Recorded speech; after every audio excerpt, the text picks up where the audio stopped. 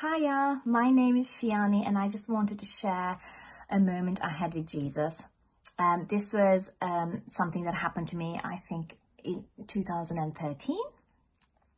Um, I am a dreamer. I dream a lot when I sleep, but I don't remember a thing. But, but there are some dreams when I when I do remember I need to act on because it's it's quite significant. And this was one of those dreams. I dreamt of my uh, really good friend um, who I'd lost touch with.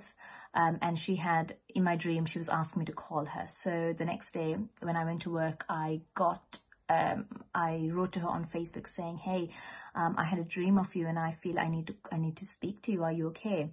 Um, she came back to me she was in Sri Lanka at that point. She came back to me saying um, um, that she was facing a, re- a crisis. Her marriage was going through really rough, rough rocky times, hard times. And um, she had got a word from some pastor or someone she knew um, asking her to get in touch with me. Well, not me uh, in person, but, but whoever had brought her to Jesus. And she said, um, I'm so, I, she, well, first, first thing, we both were like, wow, that, that was amazing. Um, and then that started our really journey of um, encouraging and uplifting and speaking truth into her, into her marriage that was falling into bits. Um, it's a long story. But right now, as they stand, they are in absolutely in love with each other. They're both in love with Jesus. They got two amazing kids. Um, and I love them with all my heart. They're doing amazingly well.